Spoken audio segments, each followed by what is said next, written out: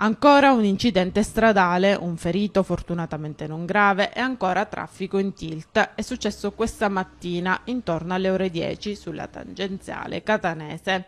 A scontrarsi a Mister Bianco, all'altezza dello svincolo San Giorgio in direzione Siracusa, un autoarticolato che trasportava materiale di risulta e l'automezzo di una ditta impegnato nello svolgimento di lavori di manutenzione lungo il ciglio stradale. Lievemente ferito l'autista del mezzo pesante, condotto in ospedale da un'ambulanza del 118 intervenuta sul posto, mentre il traffico è rimasto bloccato a causa dell'incidente e del conseguente rovesciamento sulla strada strada del carico trasportato dall'autocarro. Sul luogo del sinistro sono accorsi anche i vigili del fuoco per la messa in sicurezza degli automezzi e dell'aria e un autogru dell'ANAS per la rimozione dei mezzi. Per favorire i lavori necessari a liberare la tangenziale e ripristinare quanto prima la regolare viabilità, i veicoli in transito sono stati costretti a imboccare l'uscita San Giorgio Qualche disagio per i conducenti che hanno dovuto ricalcolare in fretta e furia il loro percorso. Il tratto di strada interessato dal sinistro è rimasto chiuso al traffico veicolare fino al primo pomeriggio di oggi.